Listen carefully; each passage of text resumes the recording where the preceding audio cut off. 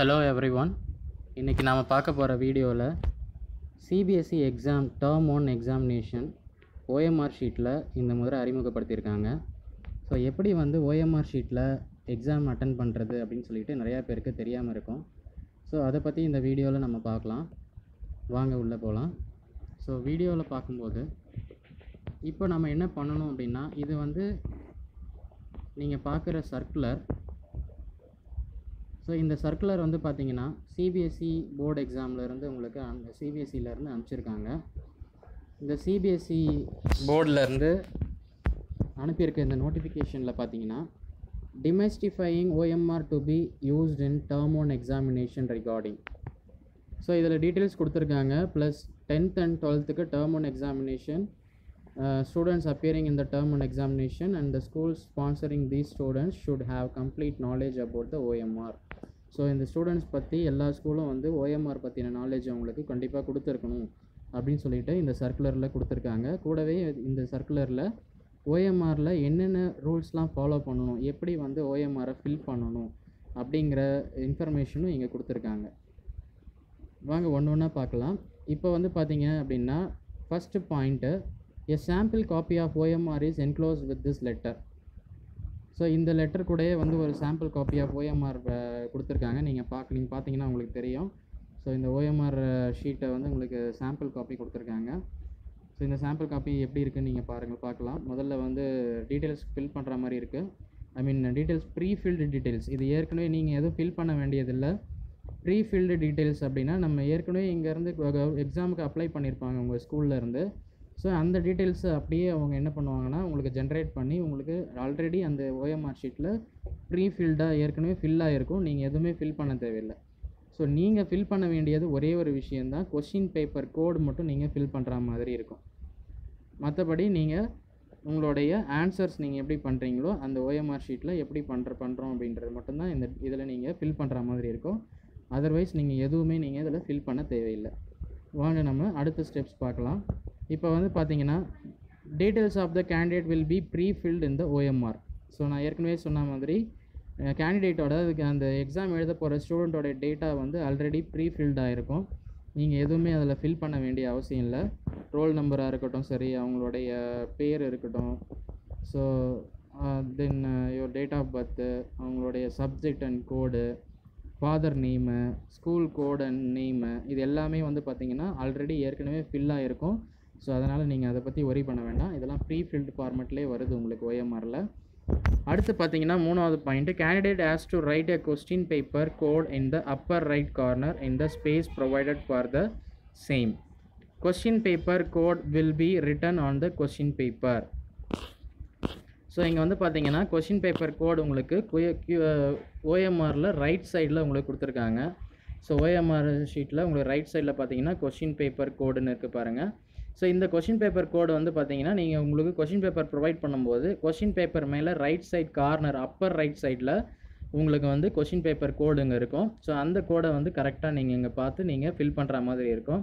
நல்லா ஞாபகம் வச்சுக்கோங்க ஸ்டூடெண்ட்ஸ் நீங்கள் வந்து பிளாக் பென் இல்லை ப்ளூ பா blue blue ball point pen மட்டும்தான் யூஸ் பண்ணணும். வேறு எதுவும் யூஸ் பண்ணக்கூடாது. பிளாக் பென் யூஸ் பண்ணணும் இல்லைனா blue pen ball point pen மட்டும்தான் யூஸ் பண்ணணும். ஜெல் பென்னோ வேறு எந்த பென்னும் நீங்கள் தவிர்த்துருங்க. அதெல்லாம் யூஸ் பண்ணாதீங்க.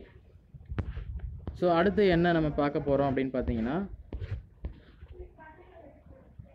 candidate has to write in his her own uh, and in the space provided. I confirm that all particulars particulars given above are correct and sign in in the running and hand on OMR so என்ன சொல்கிறாங்க அப்படின்னு பார்த்தீங்கன்னா இந்த statement கண்டிப்பாக வந்து students எல்லாருமே வந்து அது கொடுக்கப்பட்ட இடத்துல நீங்கள் கண்டிப்பாக இதை வந்து ஹேண்ட் ரிட்டனில் இருக்கணும். அதாவது ரன்னிங் லெட்டரில் ஹேண்ட் ரிட்டனில் எழுதியிருக்கணும் அப்படின்னு சொல்கிறாங்க அதாவது என்ன எழுதணும் நீங்கள் அப்படின்னு சொன்னீங்கன்னா I confirm that all particulars given above are correct இது எங்கே எழுதணும்னு பார்த்தீங்கன்னா இப்போ ஓஎம்ஆர் ஷீட்டை எடுக்கிறேன்.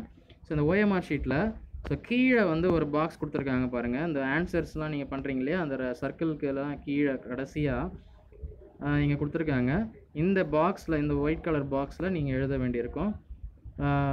I confirm that all particulars given above are correct அப்படின்னு நீங்கள் எழுதிட்டு எழுதி பேனாவில் இப்போ எழுதி முடிச்சதுக்கப்புறம் பெண்ணில் இங்கே கேண்டிடேட் சிக்னேச்சர் இன் ரன்னிங் ஹேண்டுன்னு இருக்குது பாருங்கள் இப்போ நிறையா நிறையா ஸ்டூடெண்ட்ஸ் வந்து என்ன பண்ணுறாங்கன்னா கேபிட்டல் லெட்டரில் எழுதுறாங்க.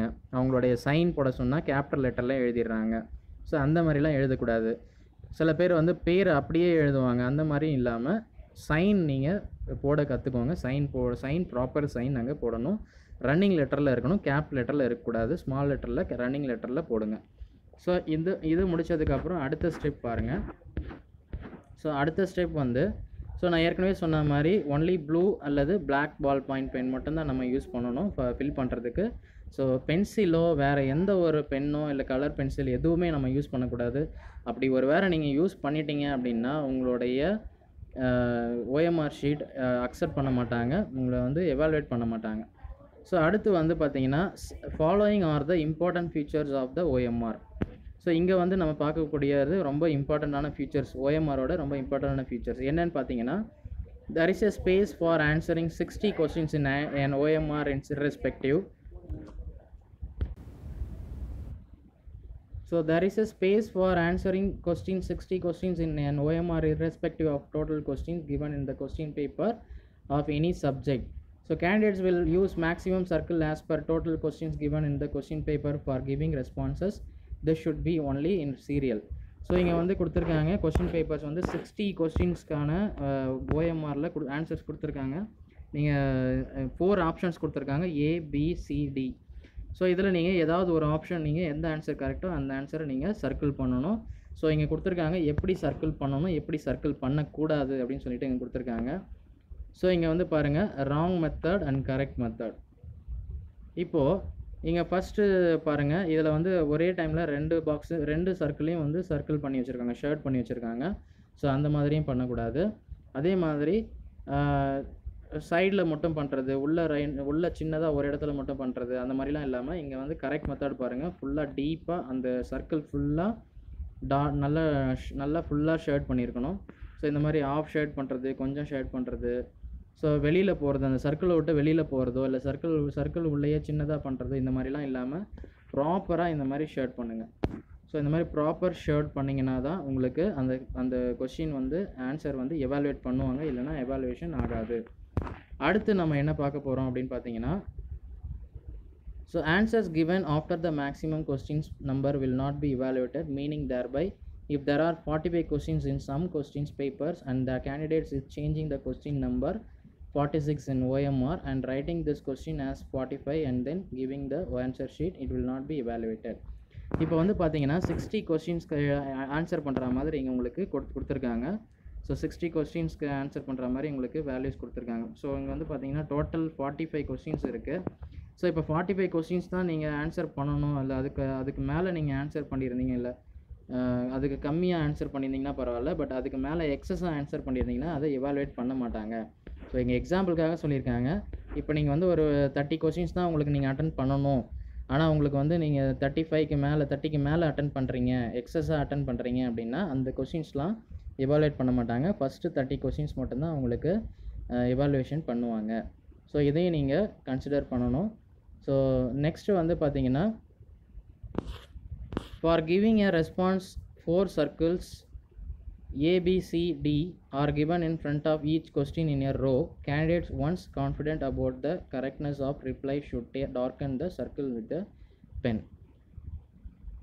So இங்கே வந்து என்ன பண்ணணும்னா ஒவ்வொரு கொஸ்டினுக்கும் ஒவ்வொரு ரோலையும் வந்து பார்த்தீங்கன்னா ஃபோர் சர்க்கிள்ஸ் இருக்கும் ஸோ எப்போ வந்து ஒரு கேண்டிடேட்ஸ்க்கு கான்ஃபிடென்ட்டாக இருக்குது இந்த ஆன்சர் கரெக்டான ஆன்சர் அப்படின்னு சொல்லிட்டு நீங்கள் கான்ஃபிடென்ட்டாக இருந்தீங்கன்னா அப்போ வந்து நீங்கள் அப்போ மட்டும்தான் நீங்கள் என்ன பண்ணணும் டார்க் அண்ட் பண்ணணும் அந்த சர்க்கிளை ஷேர்ட் பண்ணணும் அப்படி இல்லைன்னா தயவு செஞ்சு அதை கீ பிளாங்காக விட்டுட்டு அடுத்த கொஷின் போயிடுங்க. உங்களுக்கு எப்போ கான்ஃபிடென்ட்டாக அந்த ஆன்சர் கரெக்டுன்னு தெரியுதோ அப்போ மட்டும் நீங்கள் அந்த சர்க்கிளை ஆன்சர் பண்ணி ஷேர்ட் பண்ணால் போதும்.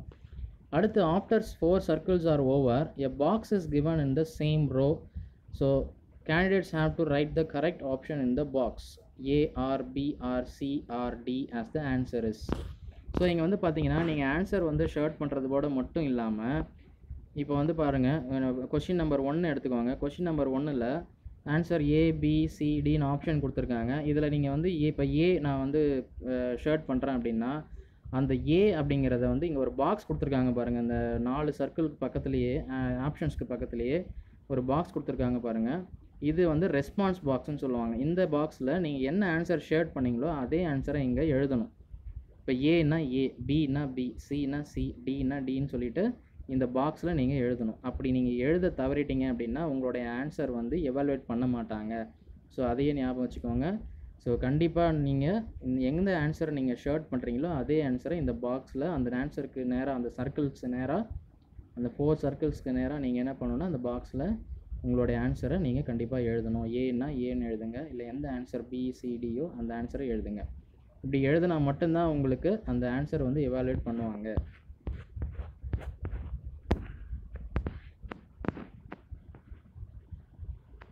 After the box again a circle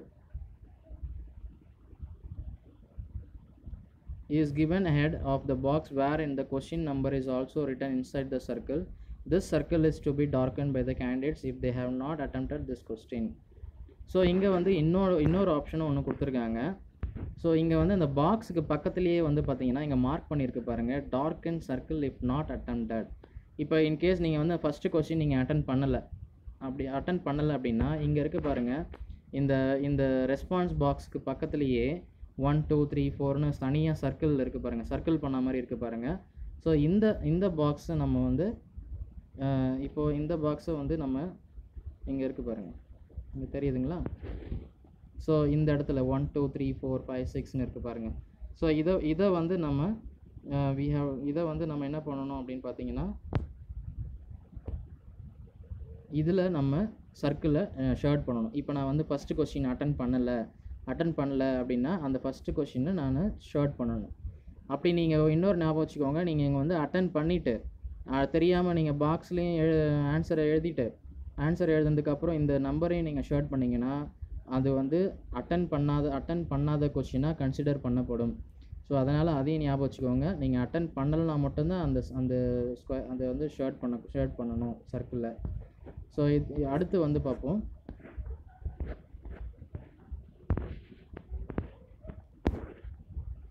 so next வந்து பார்த்தீங்கன்னா candidates are advise that first of all they should mark the response by darkening the circle if fully satisfied then there should write a response in a box purpose of giving a box is only that if any candidate wishes to change the response the same be written in the box so இந்த இடத்துல ஒரு ஒரு ஒரு best opportunity கொடுத்துருக்காங்க. என்ன அப்படின்னு பார்த்தீங்கன்னா in case நம்ம ஆன்சர் பண்ணும்போது ஒருவேளை நம்ம தெரியாமல் தப்பாக ஆன்சர் பண்ணிட்டோம்.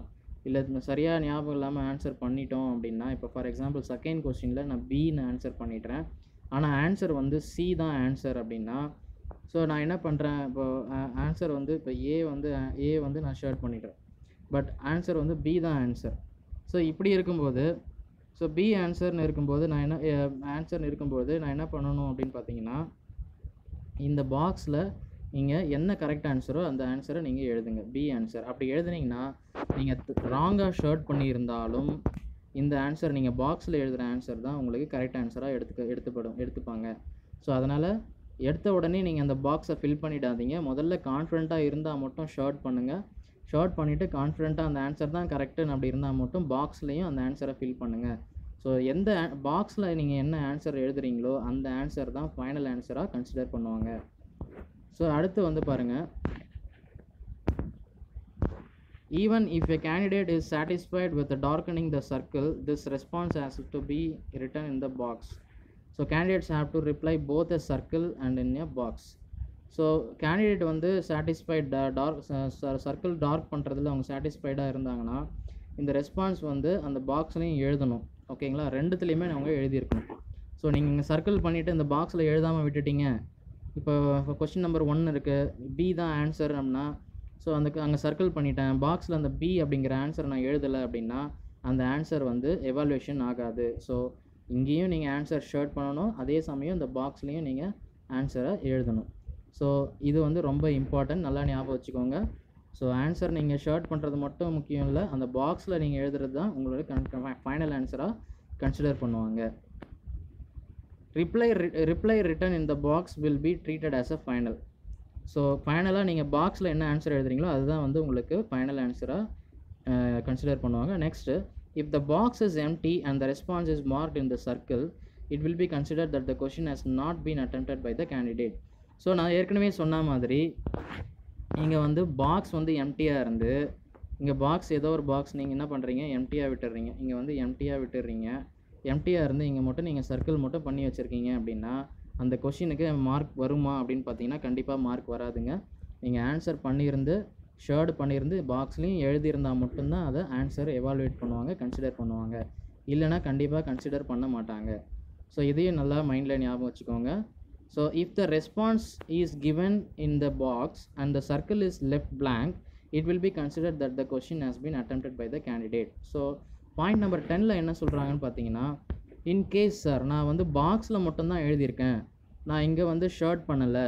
அதாவது நான் கொஷின் சர்க்கிள்ஸில் ஏபிசிடி சர்க்கிள்ஸ் ஆப்ஷனில் நான் ஷர்ட் பண்ண மறந்துட்டேன். ஆனால் பாக்ஸில் ஆன்சர் எழுதிட்டேன் அப்படின்னா நோ டி நோ நீட் டு ஒரி கண்டிப்பாக அந்த ஆன்சர் எவாலுவேட் பண்ணுவாங்க. ஸோ பாக்ஸில் மட்டும் எழுதா எழுதா எழுத எழுதுறத மறந்துடாதீங்க ஸோ கண்டிப்பாக பாக்ஸில் எழுதிடுங்க நீங்கள் ஷர்ட் பண்ணலனாலும் அந்த ஆன்சர் உங்களுக்கு எவாலுவேட் ஆகிடும் ஸோ நெக்ஸ்ட்டு வந்து லாஸ்ட் பாயிண்ட் பாருங்கள் eleventh point if all the three four circles box and last circle are left blank it will be considered that the question has not been attempted. So இங்கே பாருங்கள் so all three four four circles so all if all the three four circles box and last circle are left blank so எல்லாமே அந்த box அந்த அந்த நாலு circle அந்த அந்த blank பிளாங்காக அந்த இன்னொரு ஒரு கொஷின் வந்து அட்டன் பண்ணலைன்னா நம்ம ஷர்ட் பண்ணணும்னு சொன்னோம் இல்லையா? ஸோ அதுவும் நீங்கள் பிளாங்காக எல்லாத்தையுமே பிளாங்காக விட்டுட்டிங்கன்னா அந்த கொஷின் நம்ம வந்து அட்டன் பண்ணலை அப்படின்னு அர்த்தம். ஃபார் எக்ஸாம்பிள் இங்கே பாருங்கள் ஸோ இங்கே வந்து இப்போ வந்து கொஷின் நம்பர் ஒன்று எடுத்துக்கோங்க. இந்த நாலு சர்க்கிளில் நீங்கள் ஆன்சர் ஷர்ட் பண்ணலை. அதே மாதிரி பாக்ஸ்லேயும் நீங்கள் ஆன்சர் எழுதலை. அதே மாதிரி கொஷின் நம்பர் நீங்கள் அட்டன் பண்ணலை அப்படின்றதுக்கான ரீ அந்த ஷர்டும் பண்ணல. அதாவது நாட் அட்டம்ப்டட் அப்படின்னா நம்ம என்ன பண்ணுவோம்? அட்டன் பண்ணாத கொஷின்லாம் ஷர்ட் பண்ணி வைப்போம் இல்லையா? அதை ஷர்ட் பண்ணாதது கன்ஸ் பண்ணாமல் விட்டீங்க. எல்லாத்தையும் பிளாங்காக விட்டீங்க அப்படின்னா அந்த கொஷின் வந்து உங்களுக்கு கன் எவாலுவேட் பண்ண மாட்டாங்க. So it it is it has not been attempted. So they will consider that question has not been attempted. So இதுதான் இதுதான் இதில் இருக்க டீட்டெயில்ஸ் ஓஎம்ஆர் ஷீட்டில் நீங்கள் எப்படி அட்டன் பண்ண போகிறீங்க அப்படிங்கிறத டீட்டெயிலாக உங்களுக்கு சொல்லிட்டேன். ஸோ இது வந்து உங்களுக்கு சாம்பிள் காப்பி ஸோ இந்த சாம்பிள் காப்பியில் நீங்கள் அட்டன் பண்ண போகிறீங்க ஸோ ஃபைனலாக நீங்கள் என்ன பண்ணணும் அப்படின்றத நான் தெளிவாக மறுபடியும் ஒரு தடவை சொல்லிடுறேன். ஸோ நல்லா டீட்டெயிலாக பாருங்கள் இந்த ப்ரீஃபில்டாக இருக்கும். ரோல் நம்பர் உங்களுடைய date of date and date of examination centre number and name subject code and name candidate's name father's name school code and name இதெல்லாமே வந்து ஏற்கனவே உங்களுக்கு கொடுக்கக்கூடிய ஓஎம்ஆர் ஷீட்டில் ஃபில் ஆகி வரும். அதனால் நீங்கள் அதை எதுவுமே நீங்கள் கை வைக்க வேண்டாம். இங்கே கொஸ்டின் பேப்பர் கோட்னு இருக்குது பார்த்தீங்களா இது மட்டும் உங்களுக்கு கொடுக்கக்கூடிய கொஷின் பேப்பரில் மேலே ரைட் சைட் கார்னர் அப்பர் கார்னரில் உங்களுக்கு கொஷின் பேப்பர் கோடு இருக்கும். அந்த கோடை மட்டும் நீங்கள் ஃபில் பண்ணால் போதும். ஸோ மற்றபடி நீங்கள் இங்கே நீங்கள் ஆன்சர் பண்ண வேண்டியது தான் ஆஸ் யூஷுவல் நீங்கள் எப்படி ஆன்சர் பண்ணுறீங்களோ ஆன்சர் பண்ணுங்கள் ஸோ ஷர்ட் பண்ணிவிட்டு அந்த பாக்ஸில் அந்த ஆன்சரை எழுதுங்க. ஸோ அதுக்கப்புறம் வந்து இன்கேஸ் கொஷின் நீங்கள் அட்டன் பண்ணலைன்னா மறக்காமல் இந்த கடைசியாக இருக்கிற இந்த அந்த பாக்ஸ் சர்க்கிள் பாக்ஸ் பக்கத்தில் இருக்கிற சர்க்கிளை ஷர்ட் பண்ண மறந்துடாதீங்க. அப்போ தான் அந்த கொஷின் வந்து நாட் அட்டம்ப்டட்ன்றதை கன்சிடர் பண்ணுவாங்க. அதே மாதிரி கடைசியாக இன்னொரு ஆப்ஷன் என்னென்னா கீழே வந்து I confirm that all particulars given above are correct அப்படின்னு சொல்லிட்டு நீங்கள் வந்து blue or ball point black ball point பெனில் எழுதிட்டு இங்கே ரன்னிங் லெட்டரில் சைன் பண்ணணும். திரும்பவும் சொல்கிறேன் கேபிட்டல் லெட்டர்லேயோ இல்லை வேறு ஏதாவது லெட்டர்லையோ எழுதாதீங்க. ரன்னிங் லெட்டரில் ஸ்மால் லெட்டரில் சைன் பண்ணுங்கள் ஸோ இவ்வளோ தான் ஸ்டூடெண்ட்ஸ் ஸோ இதுக்கப்புறம் இதுக்கப்புறம் எதுவும் டீட்டெயில் வேறு எதுவும் இல்லை. ஸோ கீழே இருக்கிறது வந்து பார்த்தீங்கன்னா இது வந்து invigilators and office office related work so இதில் நீங்கள் வந்து எதுவும் நீங்கள் கை வைக்க வேண்டாம். ஸோ கீழே இருக்கிற இந்த ஆப்ஷன்ஸ்லாம் வந்து பார்த்தீங்கன்னா இது வந்து இன்விஜிலேட்டர்ஸோடைய ஒர்க்கு ஸோ இதெல்லாம் வந்து இன்விஜிலேட்டர்ஸோடைய ஒர்க்கு ஸோ இதில் நீங்கள் எதுவும் கை வைக்க வேண்டாம். ஸோ இது வரைக்கும் உங்களுக்கு இந்த டீட்டெயில் புரிஞ்சிருக்குன்னு நினைக்கிறேன். எப்படி வந்து ஓஎம்ஆர் எக்ஸாம் ஓஎம்ஆர் ஷீட்டில் எக்ஸாம் அட்டன் பண்ணுறது எப்படி ஃபில் பண்ணுறதுன்னு ஸோ இதுதான் வந்து பார்த்திங்கன்னா உங்களுக்கு கொடுக்கக்கூடிய உங்களுக்கு சிபிஎஸ்சி போர்டு எக்ஸாமில் டென்த் அண்ட் டுவெல்த்து ஸ்டூடெண்ட்ஸ்க்கு கொடுக்கக்கூடிய original OMR sheet copy okay so இந்த இந்த காப்பி தான் இப்படி தான் வரும் உங்களுக்கு original OMR sheet copy so இதை டீட்டெயிலாக நீங்கள் வந்து ப்ரீஃபில்டு இதில் வந்து ப்ரீஃபில்டு இருக்கும். ஸோ நெக்ஸ்ட்டு வந்து மீதியெல்லாம் நீங்கள் ஃபில் பண்ணுற மாதிரி இருக்கும். கொஷின் கொஷின் பேப்பர் கோட் நீங்கள் ஃபில் பண்ணுற மாதிரி இருக்கும். இந்த இடத்துல வந்து so I confirm that all particulars given above correct and signature இது மட்டும் நீங்கள் பண்ணுற மாதிரி இருக்கும். ப்ளஸ் நீங்கள் ஆன்சர்ஸ் பண்ணுற மாதிரி இருக்கும். So hope you all understand students so இந்த வீடியோ உங்களுக்கு பிடிச்சிருக்குன்னு நினைக்கிறேன். Thank you all